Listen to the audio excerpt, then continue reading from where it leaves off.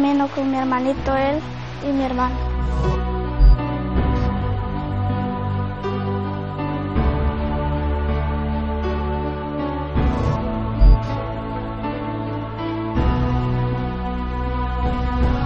Esta es la Panamá que vivimos, una Panamá que queremos esconder, que no nos damos cuenta que existe.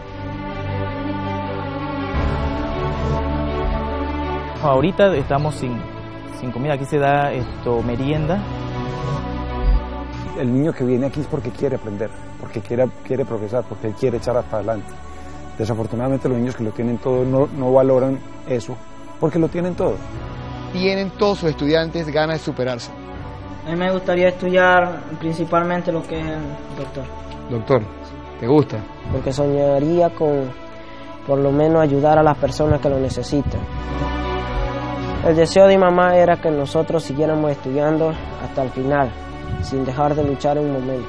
Cuando voy por el camino camino mucho y ya estoy cansada, pero tengo que lograrlo para llegar a tercer año.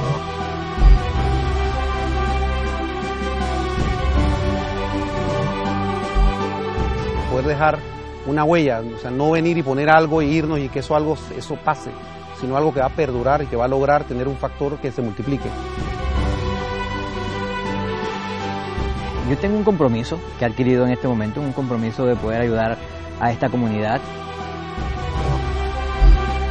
Lo que me apasiona es el estudio. ¿Te gusta el estudio? ¿Y te va bien? Sí, me va. Eso ya no se escucha mucho, que te apasiona el Sí. estudio. Bueno, yo me gusta ir porque tengo que estudiar. Cuando sea grande mm, pueda ser policía para cuidar a mis amigos, a mi familia y a otro. Le quiero ser doctora. Quisiera ser ingeniera. Yo quería lograr un sueño de ser algo para ayudar a mis padres. Tenemos que estudiar mucho, aunque tengamos que caminar tanto, aunque nos tengamos que esforzar, porque tenemos que ser alguien en el futuro. Y también les recomiendo que tengan siempre presente eh, un lema que siempre he tenido en toda la vida. El estudio no es una, obligación, sino es la superación de cada uno de nosotros. Esta área se llama Santa Fe y yo vivo aquí con mi papá, mi mamá y mis hermanos.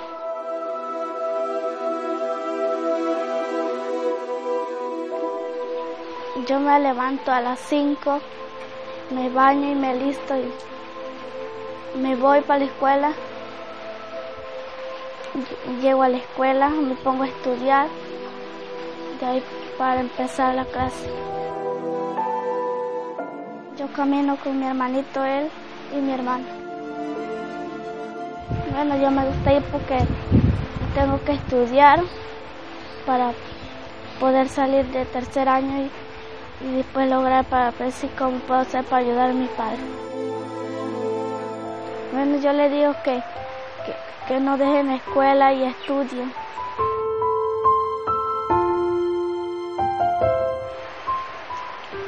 Pero yo pienso que cuando voy por el camino camino mucho y ya estoy cansada, pero tengo que lograrlo para llegar a tercer año.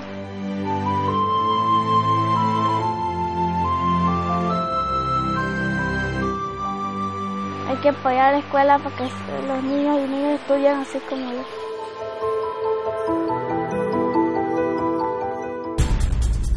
Nuevos casos, nuevos retos y un recorrido por todo el país durante los próximos seis meses es lo que nos trae la nueva temporada. Apóyate en mí. Siricito Arriba es el nuevo punto donde arranca esta temporada. 250 niños de una escuela que son fiel muestra del esfuerzo que hacen los jóvenes de las montañas y lugares apartados de nuestro país por querer educarse. Esfuerzo y perseverancia son palabras claves de este nuevo comienzo. Bienvenidos, esto es Apóyate en mí.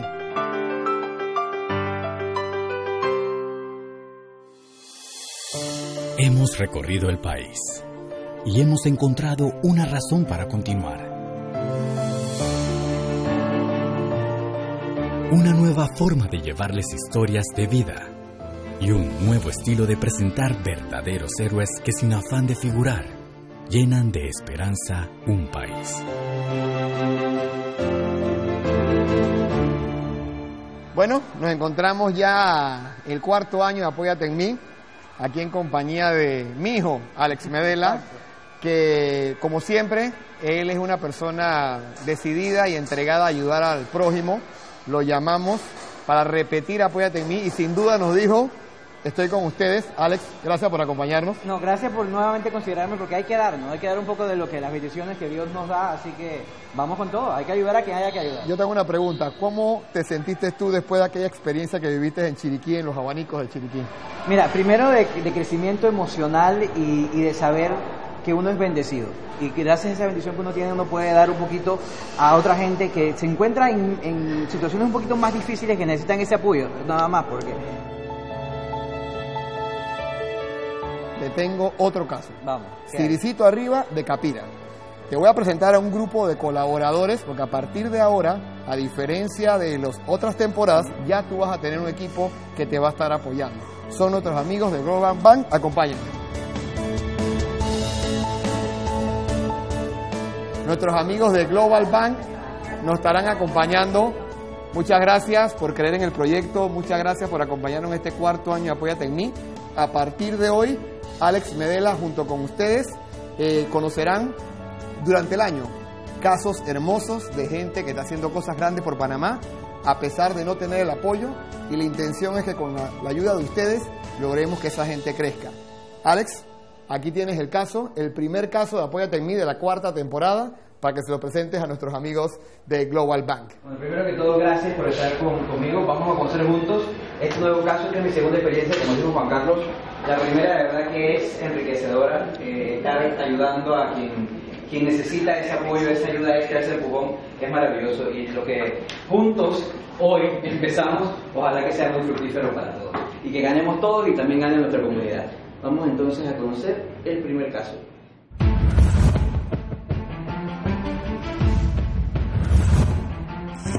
Mi día me levanto a las 5 de la mañana, llego acá a las, 7, a las 7 de la mañana para comenzar mi clase.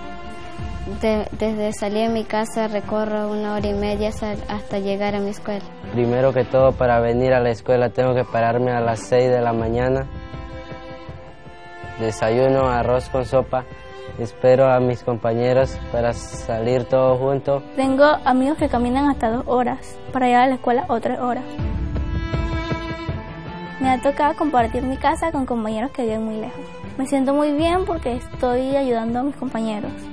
Porque, o sea, si hubiera sido yo la que caminara tanto tiempo, también me hubiera gustado que me ayudaran. Primeramente, en la mañana lo que hago es levantarme como a las 4 de la madrugada para arreglar algunas cosas que, eh, que tengo en mi casa, ayudarle a mi mamá a cocinar y después alistarme para venirme a la escuela para salir como las 8. Tengo cuatro años de estar en este colegio. Eh, hay niños que vienen de muy, muy lejos, Vallecito, Teria Nacimiento, eh, otras áreas aledañas que también no viven a orilla de carretera, sino que luego de llegar a la carretera que el carro los deja, tienen que caminar por trechos, caminos, que no son carreteras, sino trechos que hay entre el potrero. Lo que más me gusta de la escuela es estudiar, compartir con mis maestros, con mis profesores y con mis amigos. El problema con cuando llueve, con el tiempo, el clima, les hace difícil pues llegar a la escuela. Son niños eh, de 5 o 6 años que vienen a aprender a leer y a escribir y todo el sacrificio que tienen que hacer para llegar al colegio. mi nombre es Rodolfo Delgado, tengo, mi, tengo tres hijos y los tres están en la escuela aquí en Ciricito Arriba. Eh, uno se graduó, tengo dos, uno pequeño y otro más eh, media. Pues. Es una escuela céntrica, donde los muchachos que vienen, ¿verdad?, de otros lugares más aledaños, es la única que pueden contar con más accesibilidad, porque muchos otros tienen que ir a Chorrera, Capira, se les hace mucho más difícil por la situación económica. Lo que es la comida, por lo menos ahorita estamos sin, sin comida, aquí se da esto merienda a las 9 y se da almuerzo. Me gustaría a la hora del almuerzo comer sopa y arroz. Creo que el comedor escolar necesita una mejora total.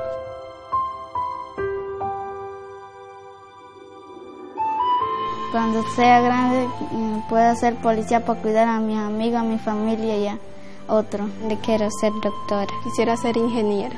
Como proyecto sostenible eh, hemos pensado entre el cuerpo docente para los niños, eh, como comentaba. Tenemos que estudiar mucho, aunque tengamos que caminar tanto, aunque nos tengamos que esforzar, porque tenemos que ser alguien en el futuro.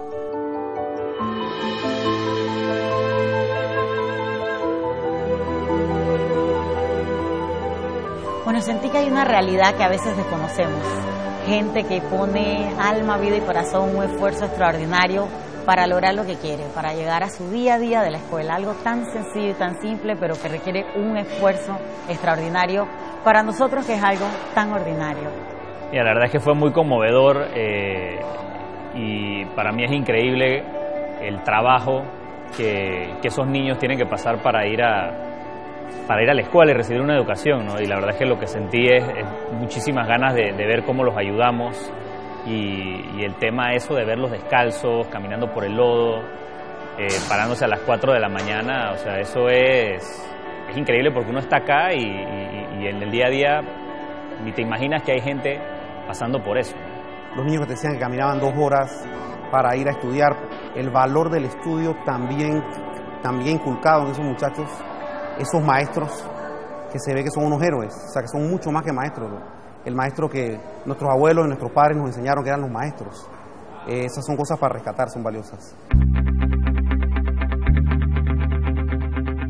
Eh, a mí lo que me gustaría eh, es tener un impacto que sea sostenible en el tiempo y que pueda mejorar las condiciones de, esos niños, ¿no? de, ya sea la escuela, la infraestructura, el tema de la alimentación.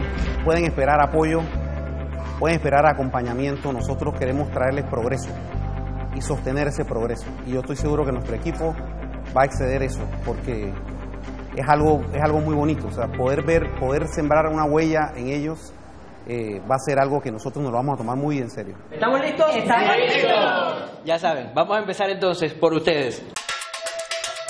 Ciricito Arriba hace parte del distrito de Capira. Con aproximadamente 38.000 habitantes, este distrito es multicultural. Acá llegaron inmigrantes de las provincias de Los Santos, Herrera, Veraguas. Historias hablan que el nombre del distrito proviene de un cacique. Lo cierto es que en el distrito no solo encontramos cultura y patrones folclóricos bien arraigados, también encontramos familias enteras que luchan por ganarse un espacio en este país que crece indiferente para algunos. Bueno, en el día de hoy vamos a conocer a los integrantes de la escuela. Cuando hablamos de integrantes, hablamos de padres de familia, hablamos de maestros, hablamos de alumnos y junto con Alex Medela y el equipo de colaboradores y voluntarios de Global Bank van a trazarse unos objetivos que van a tener que cumplir. El día 30 de agosto tendremos el programa donde se develará todos los objetivos que tenían que cumplirse para esa fecha.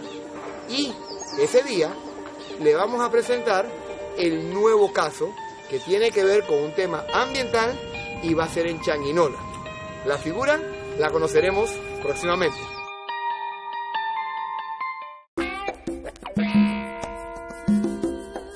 para mí fue muy grato saber que en la cuarta temporada íbamos a tener un equipo de colaboradores, de voluntarios, de la calidad de la gente de Global Bank. Teófila es la directora de la escuela. Estos son nuestros amigos de Global Bank. Miguel Gascón. Que Miguel junto a Alex Medela quieren conocer conjunto con el equipo de colaboradores. Queremos hacer un recorrido por la escuela para que nos las enseñe y bueno, y a partir de este recorrido es donde empieza la misión de Alex con nuestro equipo de Global Bank para ver en qué los podemos ayudar. ¿Le parece? Hagamos el recorrido. Y la verdad que me llamó mucho la atención ver lo bonita que se veía desde afuera, lo cuidada, lo bien cuidada, bien lema que decía educando con calidad y prestigio, me gustó mucho. Y bueno, hemos llegado aquí, hemos visto un montón de gente extraordinaria, ¿no? Porque hacer una, o sea, tener esto en las condiciones que lo tienen, Em, con las limitaciones que tienen, porque, y comparándolo con lo que tú ves en otros lados, donde hay tanto, y se respeta tampoco, ¿no? Aquí todo limpio. Y en nuestro comedor, que lo utilizamos también para lugar de reuniones y de actos con nuestros compañeros y los niños. Aquí lo, ponemos la mesita que tenemos para que los niños puedan comer su alimento y a- allá al fondo tenemos lo que es nuestra cocina. ¿Cuántos niños comen aquí diariamente? 220 por ahí. 220 Sin niños. incluir la gente de la tarde que son los jóvenes de la media porque no tenemos alimento para ellos. De Eso- vez en cuando hacemos unos cuantos platos, 5 o 10, los que nos queden, los que tenemos, entonces le damos a ellos algo de comida. Esos 220 alimentos que ustedes hacen diariamente salen de las granjas de ustedes. De la granja nosotros sale el complemento que a veces tenemos pepino, tomate y que los niños cultivan también ahí con los padres de familia. Y el de parte del FESE también o la honorable que nos da y los padres de familia también nos apoyan. Tienen una granja de pollos también. Tenemos una granja de pollo que ahora mismo ya la primera cosecha se terminó, solamente tenemos 10 gallinas ponedoras. ¿Le quedan 10 gallinas de aquí a final de año o final de 10 año. gallinas aquí a final de año?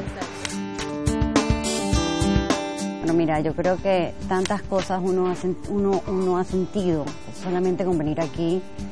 Tú sientes una paz, tú sientes este, em, que con esta gente tan sencilla uno aprende tanto.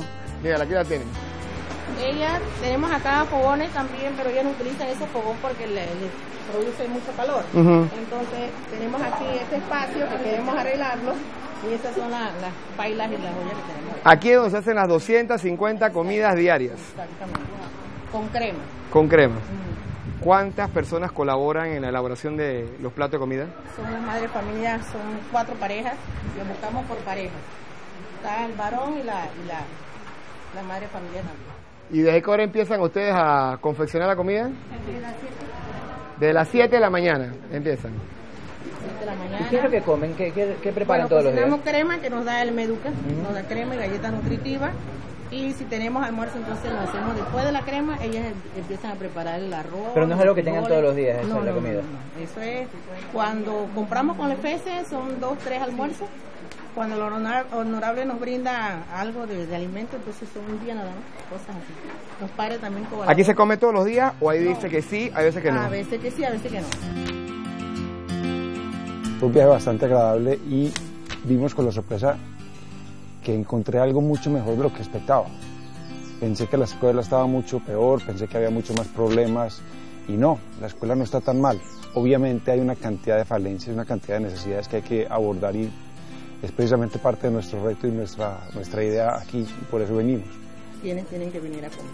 Bueno, entonces aquí ya vieron la cocina donde se trata de dar la alimentación a 250 niños diariamente junto a los que están en el turno de la tarde y este es el comedor. Tienen implementos para el comedor, eh, mesas, sillas. Las mesitas que tenemos son estas que tenemos aquí. Que esas donde dicen los padres de familia, con los banquitos allí, son tres nada más. Tres banquitos. Entonces ahí venimos, mandamos a buscar los niños por, Por tanda. Por tanda, entonces lo llenan y después va el otro y así, porque no pueden comer todos juntos tampoco.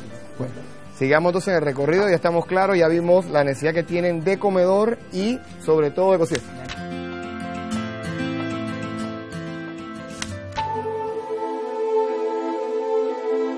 Bueno, este lugar se llama Bajo Grande, eh, Tería Bajo Grande y vivo con mis abuelos. Nosotros nos mudamos a donde vivía mi mamá, es en Chiriquí, y desde cuatro años que por desgracia mi mamá falleció, hemos de nuevo regresado donde están mis abuelos. Bueno, yo empiezo un día sie- siempre a las 5 de la mañana. eh, cuando te, como aquí no contamos con la luz, eh, estudio de ocasiones con un foco de 5 a 6. A las 7 y media estoy desayunando para partir a la escuela a las 8 por tarde. Estoy llegando a donde agarro el, el carro que nos lleva hacia la escuela a las 8 9 por a- en ese transcurso y todo depende si el carro eh, haya o no, porque en ocasiones no contamos con eh, lo suficiente carro. Bueno, mi motivación primordial es que mis abuelos siempre me apoyan, eh, mis tíos, eh, y el deseo de mi mamá era que nosotros siguiéramos estudiando hasta el final. sin dejar de luchar un momento. Bueno, yo quisiera ser cuando ya he graduado eh, doctor, porque soñaría con por lo menos ayudar a las personas que lo necesitan. Bueno, nos facilita tener una escuela en Siricito porque un bachillerato en ciencias que nosotros estamos esperando mucho tiempo para poder nosotros seguir adelante, desde cuarto año hasta sexto y tener un diploma de sexto año que ya no, anteriormente nos costaba eh, ir a Chorrera y no contábamos con ese recurso en ocasiones, muchas familias.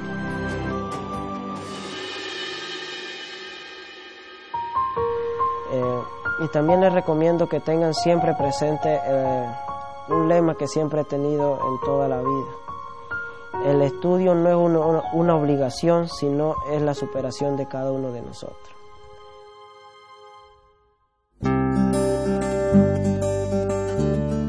Bueno, quiero presentarles a Juan Carlos, a Liadni y a Margarita. ¿En qué, ¿En qué curso van? ¿En qué grado están?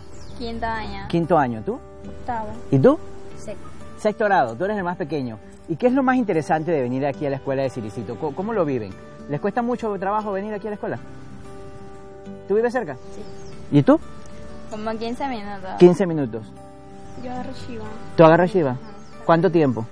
Como 10 minutos. 10 minutos. Pero ustedes conocen aquí muchachos que vienen y caminan una hora, dos horas para venir a la escuela. Sí. Sí. Y son muchachos que estudian y tienen muchas ganas de, de seguir adelante, ¿no? Sí. ¿Qué, ¿Qué, es lo más difícil a la hora de venir a estudiar cuando estos niños vienen así de lejos, que vienen muchas veces con hambre, que se despiertan muy temprano? Pues que a veces los caminos están feos y le cuesta mucho llegar hasta acá, porque el camino está lodoso, pues. Y bueno, se ensucian y eso. Y le cuesta venir hasta acá desde por allá tan lejos y para poder superarse, pues. Pero tienen esa gana siempre de seguir adelante y de superarse, ¿no? Eso motiva también a uno que tiene más cerca, que vienen cerquita, que si ellos pueden y tienen esas ganas, también los hacen a uno para estudiar más, ¿verdad?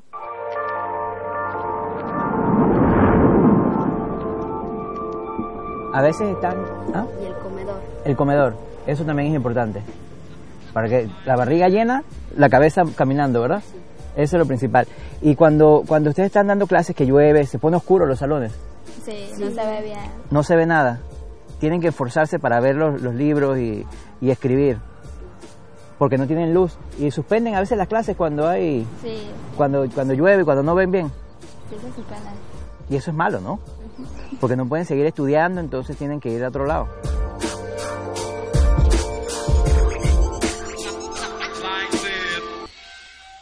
Que los maestros vienen de lejos, están con ustedes siempre, ayudándolos y enseñándoles, ¿verdad? Sí. ¿Les les respetan mucho a los maestros? Sí. Está bien, muy importante. Entonces, ¿tú qué quieres ser cuando seas grande? Policía. Policía. ¿Tú? Azafata. Azafata de avión. ¿No te da miedo las alturas? No. ¿Y tú? Licenciada ¿Licenciada en qué? en finanzas. Ah, en finanzas. ¿Y eres buena en matemáticas también? Sí, algo. Bueno, hay que estudiar mucho, eso es lo principal. Porque el, el que no estudia no avanza. Y aunque a veces tengan que trabajar, también hay que seguir estudiando, hacer las dos cosas al mismo tiempo. ¿Lo prometen? Sí. sí. Promesi- prometido entonces, pues. Promesa. A estudiar.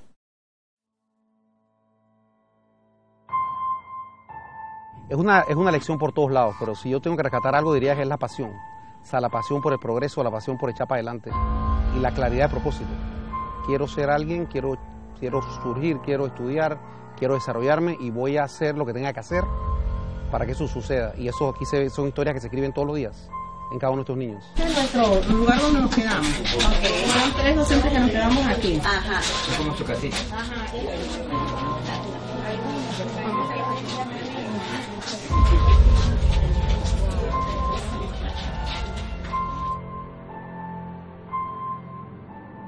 Porque ahora mismo el ministerio no tiene silla para. Siempre nos ha dado, pero en este año no tienen silla para, para los niños. ¿Y actualmente tienen sillas para todos o les hacen falta si- sillas también? Mm, En mal estado alguna, pero sí tenemos todavía para, Tienen para todos. Ajá, para todos. Eh, incluso estábamos pidiendo la. Para los salones nuevos. Ajá. las nuevas- Claro, para nuevos.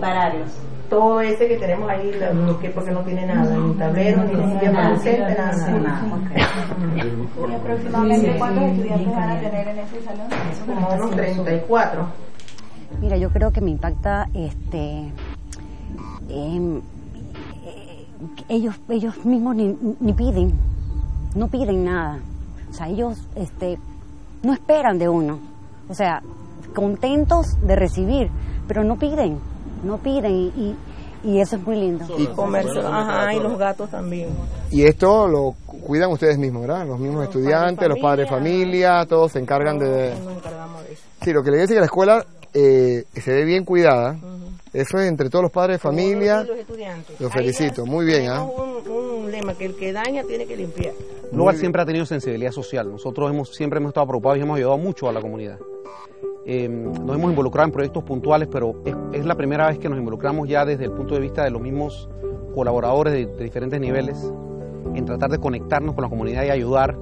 Y nos llamó la atención del proyecto de poder hacer algo sostenible, o sea, poder dejar una huella, o sea, no venir y poner algo y irnos y que eso algo eso pase, sino algo que va a perdurar y que va a lograr tener un factor que se multiplique.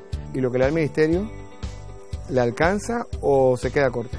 Nos quedamos cortos porque son muchas necesidades que tienen. ¿Y el ministerio qué le provee ahora mismo, además de las cremas? Eh, galleta y el fese nada más. Y el Ajá, el fese. O sea que usted con el fese y lo que recoge aquí es que complementa la comida. Ah, complementa, no, hace toda la comida. Exacto. Cuando hay.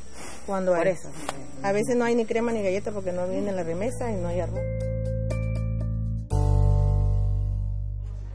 Bueno, ya tenemos la comida lista, preparada. Aquí estuvimos todos hace un rato ayudando a cocinar, a hacer un arroz con pollo y, por supuesto, una deliciosa ensalada. Nos quedó bien rico, ¿verdad? Sí, sí, sí, quedó bien. La preparación rico. Y hay que darle un gran aplauso a estas señoras que son madres de familias de la comunidad, que ellas vienen a ayudar y vienen a hacer esta comida todos los días para los niños, cuando tienen, por supuesto, con qué hacerlo. Así que yo me encuentro aquí con Ellen. Ya podemos empezar a servir entonces, ¿no? Porque esta comida la trajimos para compartir con ellos, compartir con toda la gente de Global que nos acompañó y también con los estudiantes y las madres de familia y todo el equipo eh, que labora aquí en la escuela de Ciricito Arriba. Así que vamos a hacer la invitación para que todos vengan. Amigos, la comida está lista. Vengan todos.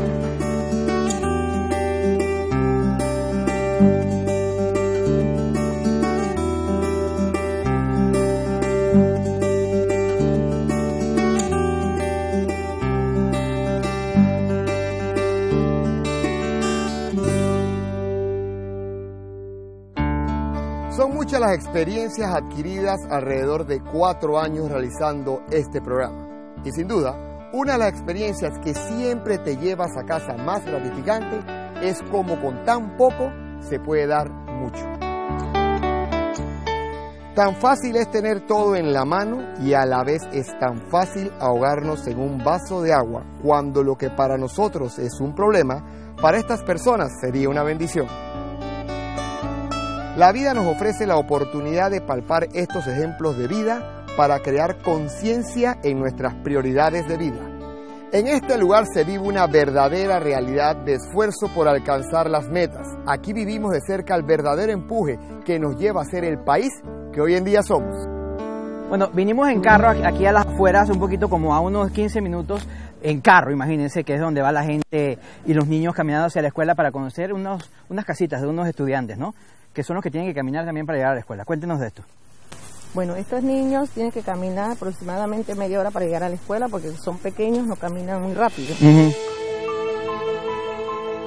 Y como educadora, ¿cómo, ¿cómo funcionan estos niños que llegan tarde, que llegan cansados, que llegan sin comida? ¿Cómo es el desempeño de ellos? Bueno, a veces no es igual que los que viven más cerca, tienen más facilidad de llegar a la escuela porque ellos Bueno.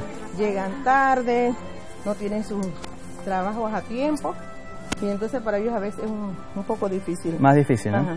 Imagínense, nosotros que venimos de comer, venimos bien, ya estamos muertos nada más de subir este poquito. Ujú, Imagínense los pobres niños tempranitos cuando llueve, imagínense cuando están bajo el sol. ¿Y van solitos o con los papás? No, solito. Solitos. La, la más grande se hace cargo de los machos. La más grande, ¿cuál es la más grande de ella? Ah, la que se fue por allá. Pienso que la principal enseñanza se llaman las ganas. Y lo que diferencia a estos chicos a los chicos de la ciudad son las ganas. El, el niño que viene aquí es porque quiere aprender, porque quiere, quiere progresar, porque él quiere echar para adelante. Desafortunadamente los niños que lo tienen todo no, no valoran eso, porque lo tienen todo y nunca les ha tocado un esfuerzo por conseguirlo. El niño de acá no. Y pienso que eso hay que valorarlo mucho y eso hay que apoyarlo mucho. Y es difícil mandarlos para la escuela cuando llueve y eso, caminando, ¿no? Porque no hay cómo llegar. Sí, sí, sí. Claro, claro. Está lloviendo yo. ¿Cómo? ¿Qué me contaba? Que cuando está lloviendo yo no los mando porque entonces ellos no tienen, entonces ya mojadita a la escuela y Ujú. los padres no se les dañan. Claro. Eso es difícil también llevarlos a la escuela y cuando llegan que a veces no han comido bien, Eso. peor, ¿no? Sí, sí, es peor, sí. ¿Todavía falta mucho para arriba o ya no? No, es aquí mismo, ahí, ahí la casa que. Ah, para arriba. Está cerca, está cerca ahí. ayudan a la escuela de, de la alimentación, porque cuando van tarde, que llegan todos estos caminados, que llegan cansados, como dijo la misma profesora, no tenían, no podían estudiar, ¿no? Porque si a estos niños no los apoyamos, si a estos niños no les damos una mejor educación y unas, menor- unas mejores infraestructuras donde puedan eh, desarrollarse y, y poner en, en marcha todos sus sueños, pues son niños que se pueden perder y aquí hay una cantidad de talentos, de, de- de- de generosidad, de alegría, de sueños, de cosas por hacer que vale la pena trabajar por ellos. Eh, el niño del interior es un niño mucho más sano, mucho más tranquilo y hay que promoverle eso, promoverle el mantener su cultura, el mantener su música, el mantener sus costumbres, el mantener esas buenas enseñanzas que el campo les da. Que no tenemos ni que quejarnos. Cuando vemos la realidad de la gente, que uno ahí son los, los reality checks, como se dice en inglés, ¿no? Esta es la misma realidad de lo que vive mucha gente. Y nosotros nos quejamos por nada. Pero bueno, gracias a ustedes, ¿verdad? Ojalá podamos ayudar a, a la comunidad y a, a la escuela. Sí, esto, es- esto es en conjunto, esto es como, como buenos panameños ayudándonos todos unos a otros. Así mismo. Y extranjeros también, no, no limitemos a nadie. Extranjero, el que quiera, el que, el que quiera cooperar, que coopere. ¿Qué edad tiene? Tiene un año y seis meses. Un año y seis meses. ¿Es tuyo? Sí, yo tengo otra por ahí. Ah, también anda por ahí. Sí, está. Más grandecita. Tiene un mes apenas. Ah, está chiquitita. Está chiquitita. ¿Y esas cositas? ¿Y aquí quiénes viven? ¿Eh? ¿Aquí quiénes viven? Este mes son cinco. Los tuyos son cinco. Hola. A veces es difícil ver las realidades que vive la gente. Venir a estas casitas que sí que tienen, tienen luz, eh, pero tienen unas tablas que sirven de cama, sin un colchón, solamente tienen una sábana. Son cinco niños, uno recién nacido de un mes, y, es lo que viven, es lo que le toca vivir. Gracias a, gracias a, Dios uno tiene bendiciones que, que las puede utilizar para ayudar y eso es lo que queremos hacer con Apóyate en mí. Porque duele, duele ver la realidad que muchas veces no, no nos damos cuenta o no queremos ver, muchas veces nada más quitamos la cara y, y listo, ¿no?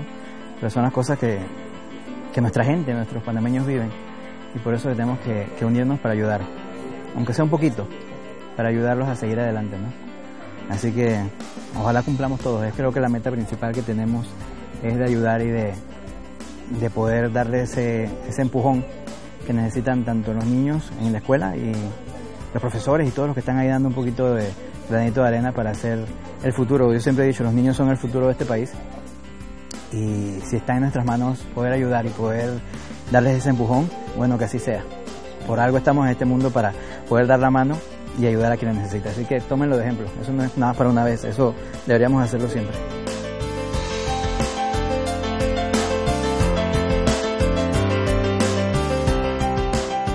tratar en lo posible de dejarlos aquí, que encuentren su, su vocación, que encuentren su solución de educación en, escuelas como estas, que definitivamente tienen que ser más y tienen que progresar mucho más. Ojalá logremos que los niños no migren del campo a la ciudad, sino hasta que estén mucho más maduros, para que lleven toda esa buena parte que ellos tienen, la lleven a la ciudad. Y como tú decías ahora, sí, los niños de la ciudad de pronto tienen más, tienen más acceso, pero cuando uno tiene tanto acceso a las cosas, eh, pierde el valor de ellas. Viven, cuéntanos a ver, ¿con quién vives actualmente? Actualmente vivo con mis dos abuelos por parte paterna y dos tíos. Sí. ¿Tu mami, tu papi? Bueno, mi, mi padre es el que eh, vive aparte. Ajá. Eh, yo me había acostumbrado a vivir con mis abuelos. Y mi madre, desgraciadamente, la perdí cuando tenía solo 12 años. Ah, bueno, pero bueno, gracias a Dios tienes a tus papás, tus abuelitos, perdón, que te van a dar ese amor afectivo que tanto necesitas. Y cuéntanos sobre tu casa, ¿cómo es? Bueno, mi casa eh, es de madera, eh, eh, piso. Y, bueno, contamos con dos, tres cuartos. ¿Tienes luz, agua? Bueno, luz no tenemos ah, actualmente porque la luz no, no llegado. ¿Y cuánto tiempo te demoras a caminar acá a la escuela, en tu casa? Bueno, de, ah, de la casa, porque yo vivo apartado de la calle, me toma de dos horas máximo caminar. Wow. ¿Y qué te impulsa a venir cada día aquí a la escuela, compartir con tus amigos, con tus compañeros, con tus maestras? Lo que me impulsa es seguir adelante, ser alguien en el futuro y cumplir la meta que siempre mi mamá se propuso conmigo de llegar a verme algún día ser alguien profesional. Claro que sí, lo vas a lograr.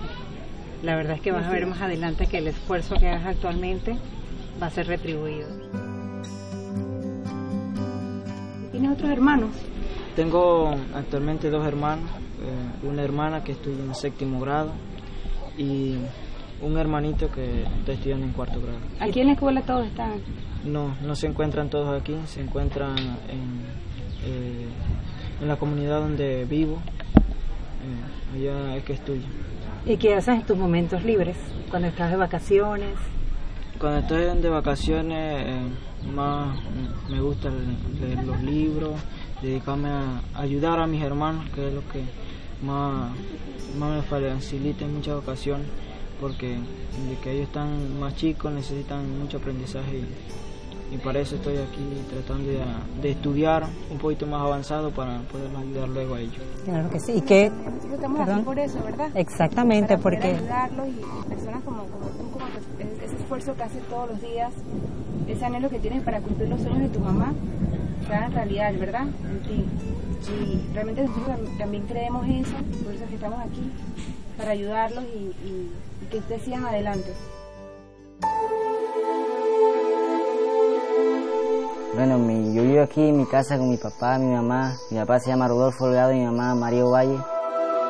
Y nosotros vivimos en el campo acá, en el campo no hay, no hay luz, no se puede tener luz. Nosotros acá vivimos con esas lámparas que dicen por ahí, eh, esa de querosín la echan. Mi escuela es muy bonita porque uno aprende a veces cosas que no sabe y va aprendiendo. Y mi escuela es muy excelente porque mis profesores son muy nos educan a veces lo que no sabemos nosotros bueno mis padres siempre me dicen que estudie pues para que sea más más que ellos pues, lo que ellos no lograron para que yo sí lo pueda lograr me levanto como a las 5 de la mañana desayuno de ahí me baño mi mamá me prepara el desayuno para yo ir a la escuela me alisto y de ahí me voy dire- directo a la escuela caminando porque a veces no hay carro. Bueno, yo quería lograr un sueño de ser algo para ayudar a mis padres, para que puedan ser ayudados por, por mi persona. Quería ser esto un policía para ayudarlos a ellos. Bueno, yo para mi hijo quiero el bien, porque en verdad yo fui una madre de que yo no llegué a esa a tener ese esa oportunidad de tomar ese estudio.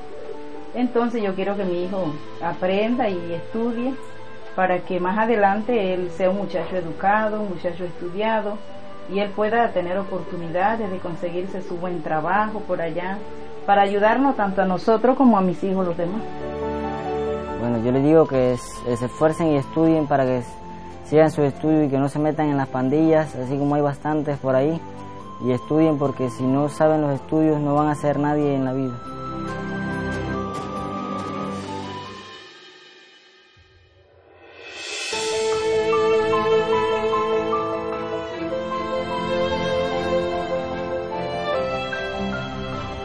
Llegamos al final del programa.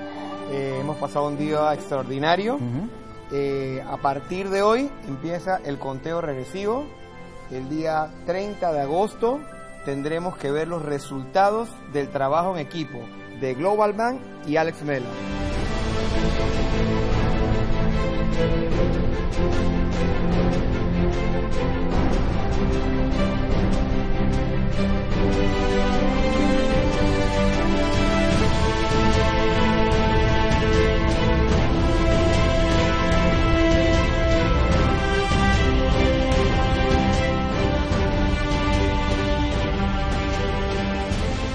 Eh, primero que todo, gracias a toda la gente de Silicito Arriba, la escuela, por el día maravilloso, señora directora. Un placer.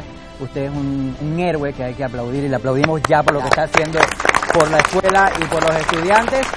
Y ya, gracias a Dios que me puso un ángel y gracias a la gente de Global Bank que se han unido a este gran esfuerzo de Apoyate en mí para poder cumplir las necesidades que ya estuvimos revisando, ya vimos cuáles son las necesidades más importantes que tienen y tenemos el compromiso que lo adquirimos desde el primer día y estamos seguros, seguros y ustedes no duden de que vamos a cumplírselos todos. El compromiso de ustedes también, de estar De parte de Global Bank, muchas gracias y tienen el compromiso total del equipo de Global Bank. Muchas gracias. Gracias a ustedes y bueno, vamos a ver qué pasa en 30 días, vamos a resolver lo, lo más que podamos, se lo prometemos. 30 de agosto sabremos si este gran equipo cumple los objetivos. Nos vemos el 30 de agosto. Chao.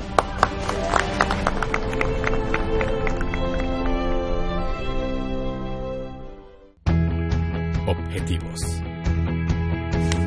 Adecuación de comedor. Granja de pollos. Construcción de cocina. Objetivo sorpresa.